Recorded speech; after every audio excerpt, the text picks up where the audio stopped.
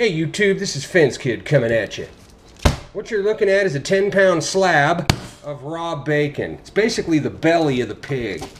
There's a look you might recognize, right? There's that bacon slice. So it's basically just raw bacon, the underside of a pig. I'm gonna take this chunk right here. This has had the skin removed already, so we're loving that.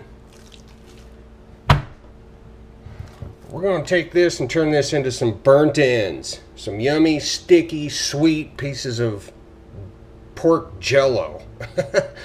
okay, so all we did was we took that pork belly and you want to cut it up into cubes. Right? You can see, oh, I don't know, one inch by one inch cubes will work. You don't have to be too specific. Just try to keep them all consistent. Throw a little barbecue rub on them. Try to get all sides if you can. And then we're going to throw these out on our smoker at about 275 for, say, three hours. All right, you want to set your pit up for about 275, 300, 250 will work if you have to. Try and keep it around 275. We've got it rolling. We've got some charcoal in there. We've got some cherry wood in there producing that sweet smoke. We've got our nugs out here ready to rock and roll. Look at those things, dude.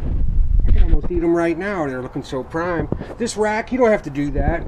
This is just going to help me get them in and out of my pit a little bit easier. You can see how I spaced them out. I want to let that smoke get around each nugget. So let's pop them in and see how we do. Oh. All right, hang on. Mm-hmm. Just like that. And I'm going to move these little ones off these hot spots here. You can put these right on the grill. You don't have to use a rack. You'll be all right. You just want these set up so each nugget can get surrounded by smoke. Yeah, that's looking good, buddy, buddy. Buddy! This here's going to make some of that good pork candy. It's going to melt in your mouth. Kind of like a burnt brisket or a burnt end on a brisket. This is the pork belly version. All right. So that's ready to rock. We're just going to seal it up, keep it at 275. We'll come back to this in about, oh, three hours. I'll be back in a second. Oh, yeah, buddy. Okay, guys, it's been about two hours into this sow candy, and I want to come out and check on it, make sure we're doing all right. Let's have a look at how she's going. Oh, yeah. Yeah, that's doing quite nice. In fact, I might need to roll a little bit longer than I thought. Those are pretty big chunks. But you just want to check on two hours, make sure everything's looking even, nothing's burning, nothing's, you know, everything looks good. Let's close it back up. Okay guys, we are three hours into this smoke. We've been holding steady at 275. Let's have a look at us. Three hours in. Ooh. Oh yeah, those are looking prime. I'd call those prime for sure, but we're not even close, dude. This is just phase one. The next thing we're going to do is we're going to pop them out of this into this pan here. Check it out.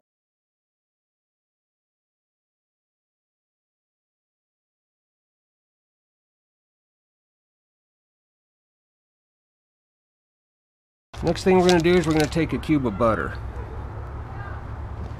And just dance that butter all over the place. This is going to make them real sticky.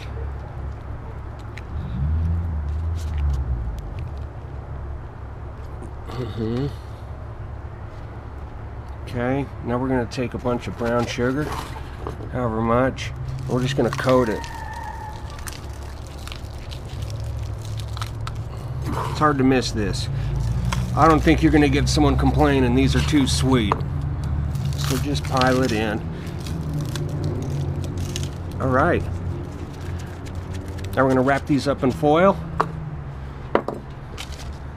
And get them back on the pit.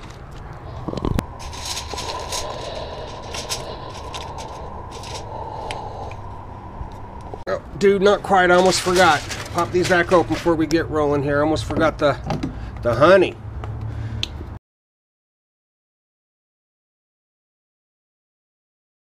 Mm-hmm.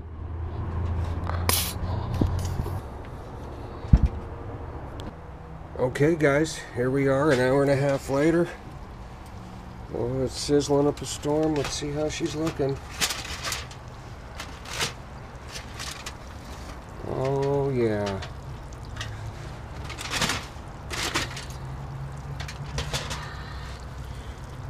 Now these are going to be just as soft as butter. Oh yeah. Those are just like jello. Even softer than jello. Look at that. Alright, sweet. Tell you what we're to do. We're to dance these out. Bam, into one more pan. Now we're to take some of this glaze here, simple, and just coat all of them. Looking good. Looking good. Alright, now let's throw them back in the pit for say 10-15 minutes. Caramelize that glaze up, and we'll call it good. 15 minutes later. Oh yeah. How's that looking? Is that looking like something you want to put in your mouth? Oh yeah, let's get them inside. Let them cool down and check them out. Well, alright, so there you have it, guys. Pork belly burnt ends, fresh out of the pit. Wow. What a sight.